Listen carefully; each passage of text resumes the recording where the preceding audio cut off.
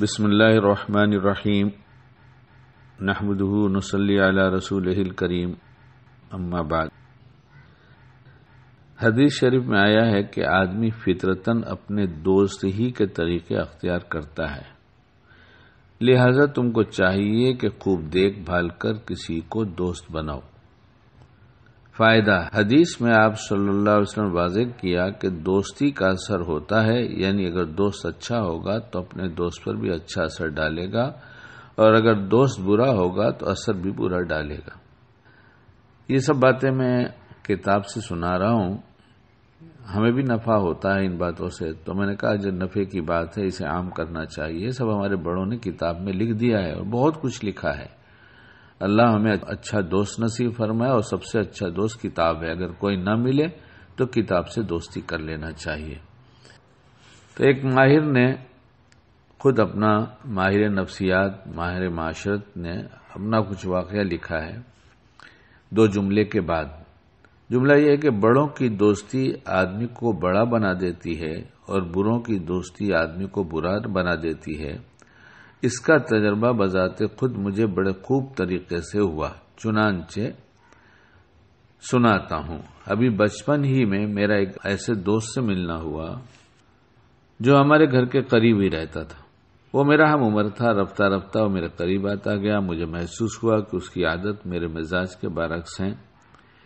मेरी तरबियत घर में और केयर होम में जिस अंदाज में हुई थी, उसकी वजह से उसकी आदत मुझे चुपती थी।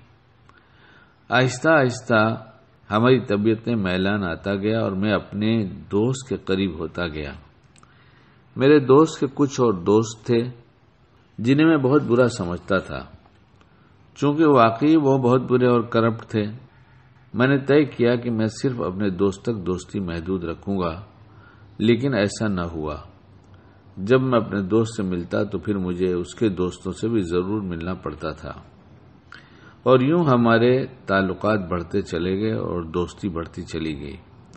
मैंने महसूस किया कि अब से कबल जिन चीज़ों को मैं गलत समझता था, या कि जो चीज़ें मेरे लिए काबिल नफरत थीं, अब वही मेरी पसंदीदा होती जा रही थीं। लेकिन उन नाकाबिल नफरत चीज़ों को अपनाते हुए मुझे एहसास न हुआ और न मैं परेशान हुआ। इसका एहसास तो मुझे उस वक्त हुआ जब मुझे एक पुराने शरीफ दोस्त ने बैठा कर बतलाया कि तू पहले ऐसा था और अब ऐसा हो गया और यूँ मेरा एहसास जागा और यूँ लगा कि मैं नींद में था और आँख खुल गई। वाकई ये बात दुरुस्त है कि आदमी अपने दोस्त के तरीकों को अख्तियार कर लेता है। मैं जो सुना रहा हूँ, यानी शकील मैं पहले भी एक बात कह चुका हूँ और दोबारा कहा जाए तो कोई हर्ज की बात नहीं है कि मैं एक जगह गया था, एक मदरसे में, छुट्टी हो गई थी, एक बुज़ुर्ग तन्हा एक चारपाई पे बैठे हुए थे। मैंने जाकर सलाम मुसाफा किया और बताया कि मैं बंबई में रहता हूँ और वहाँ से आया हूँ। मेरा शबाब था, मैं बिल्कुल नौजवान था। उन्हें बैठाया मैंने कहा कि हज़रत, कोई नसीहत कर दीजिए। तो उन्होंने कहा कि मैं क्या नसीहत करूँ? मैं अपने बड़ों की एक बात सुनाता हूँ। वो ये कि अपने तौर पर अच्छा बनने की कोशिश करोगे तो जितने अच्छे भी बनोगे, उसकी कोई हद होगी। और अच्छों का साथ पकड़ लोगे तो इतने अच्छे बनोगे कि उसकी कोई हद नहीं होगी। इसी तरह से अपने तौर पर बुरा बनना चाहोगे तो जितने भी बुरे बनोगे, उसकी कोई हद होगी। लेकिन बुरों का साथ पकड़ लोगे तो इतने बुरे हो जाओगे कि उसकी कोई हद नहीं होगी। इसलिए अच्छों के साथ रहना, बुरों से बचना।